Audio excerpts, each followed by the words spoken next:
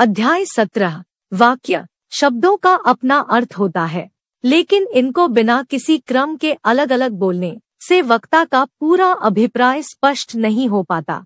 शब्दों को निश्चित क्रम और स्वाभाविक गति से बोलने पर ही वक्ता का अभिप्राय स्पष्ट हो पाता है। हम कह सकते हैं, सार्थक शब्दों के व्यवस्थित समूह को ही वाक्य कहते हैं। सार्थक शब्दों पदों से बने वाक्यों के उदाहरण। वह गाय का दूध पीता है। गधे के सिर पर सींग नहीं होते। मैं आपको धन्यवाद देता हूँ। प्रातकाल ठंडी हवा चलती है। मोहन पत्र लिखता है। उपर्युक्त सभी वाक्यों में प्रयुक्त शब्द, पद, पूरा अर्थ प्रकट कर रहे हैं। अतः ये सभी वाक्य है। वाक्य के अंग, वाक्य के दो मुख्य अंग होते हैं। एक, उद्देश्य।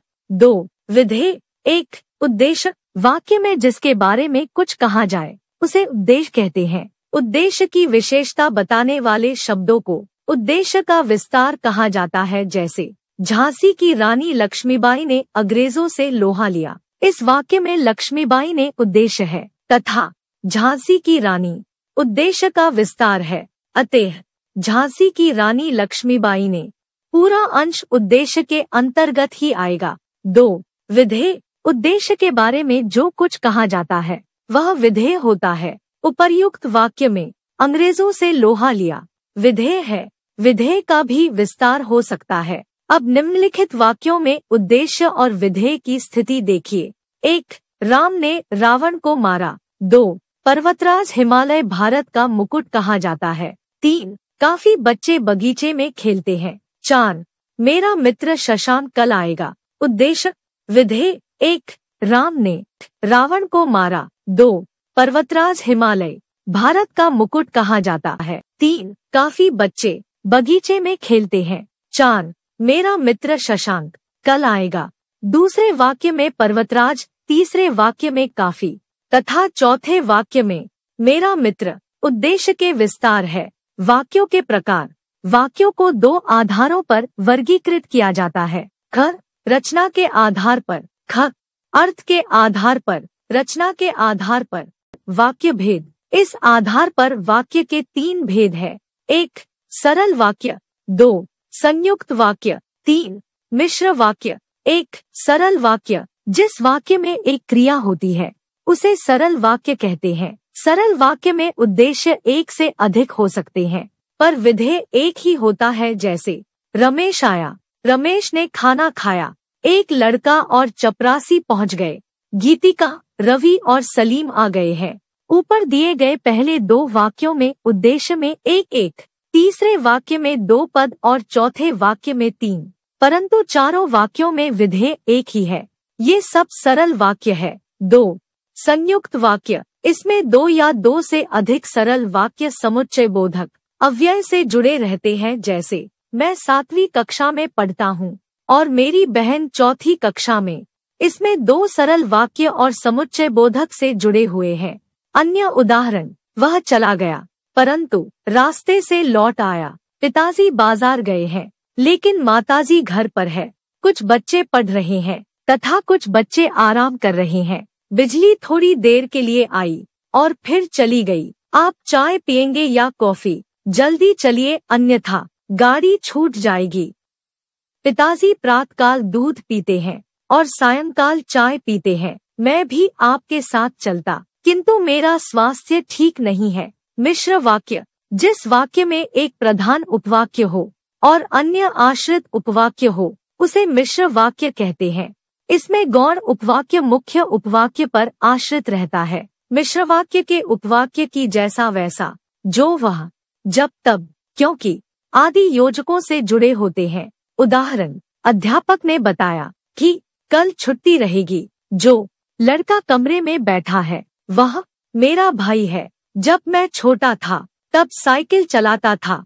अब आप प्रधान उपवाक्य और आश्रित उपवाक्य की स्थिति समझिए। एक, महात्मा गांधी ने कहा कि सदा सत्य बोलो, प्रधान उपवाक्य, योजक, आश्रित उपवाक्य। दो, उस बालक को बुलाओ, जो बाहर खड़ा है। प्रधान उपवाक्य, आश्रित उपवाक्य, तीन, जहाँ जहाँ हम गए, हमारा भव्य स्वागत हुआ। आश्रित उपवाक्य, प्रधान उपवाक्य, समझो।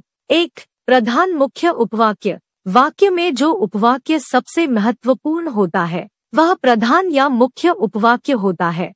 दो, आश्रित उपवाक्य, ये उपवाक्य अपने पूर्ण अर्थ के लिए प्रधान मुख्य उपवाक्य पर आश्रित रहते हैं। उदाहरण, सभी जानते हैं। कि सचिन अच्छा खिलाड़ी है। सभी जानते हैं प्रधान मुख्य उपवाक्य। सचिन अच्छा खिलाड़ी है, आश्रित उपवाक्य। के समुच्चय बोधक, ख, अर्थ के आधार पर वाक्य भेद। इस आधार पर वाक्य के आठ भेद है। एक, विधानवाचक। दो, निषेधवाचक। तीन, प्रश्नवाचक। चार, आज्ञावाचक। पाँच, विस्मयादिबोधक। छह संदेहवाचक। सात, इच्छावाचक। आठ संकेतवाचक। आइए अब इनके बारे में विस्तार पूर्वक जाने। विधानवाचक इसलिए बात या काम के सामान्य रूप से होने का बोध होता है जैसे वह आया। प्रधानमंत्री ने लाल किले पर तिरंगा झंडा फहराया। ठंडी हवा चल रही है। आकाश में तारे टिमटिमा रहे हैं। निषेधवाचक नकारात्मक इसलिए बात या काम के न होने का भाव प्रकट होता है जैसे मैं यह काम नहीं करूँगा। अब वर्षा नहीं हो रही है। मैं कुछ भी न कर सका। मेले में मेरे जाने का प्रश्न ही नहीं उठता। तीन, प्रश्नवाचक। इस प्रकार के वाक्य में कोई प्रश्न पूछा जाता है जैसे, आप कब आए? मुझे कौन रोक सकता है? वह क्या कर रहा है? रक्षाबंधन कब है? चार, आज्ञावाचक। इस प्रकार के वाक्य में आज्ञा, प्रार्थना या आदेश का भाव रहता है जैसे, तुम यहाँ से चले जाओ। किसी का जी न दुखाना। अपना बिस्तर साफ़ करो। तुम बाहर जा सकते हो। पाँच विस्मयादि वाचक। इस प्रकार के वाक्य में विस्मय हर्ष शोक घृणा आदि का बोध होता है जैसे कैसा सुंदर दृश्य है। आहा मैच जीत लिया। अरे यह क्या हो गया? छी। बेशर्मी दिखाते हो। छे संदेहवाचक इस प्रकार के वाक्यों में संदेह या संभावना का बोध होता है जैसे शायद आज वर्षा हो। तुम्हें घर जाना पड़ सकता है। वह कश्मीर चला गया होगा। राजू ने गाड़ी पकड़ ली होगी। सात इच्छावाचक। इस प्रकार के वाक्यों में, इच्छा, शुभकामना, आशीर्वाद आदि का भाव होता है जैसे, ईश्वर तुम्हें दीर्घायु करे, तुम्हारा कल्याण हो, परीक्षा में तुम्हें शानदार सफलता मिले, सुखी रहो। आठ संकेत वाचक शर्त बोधक।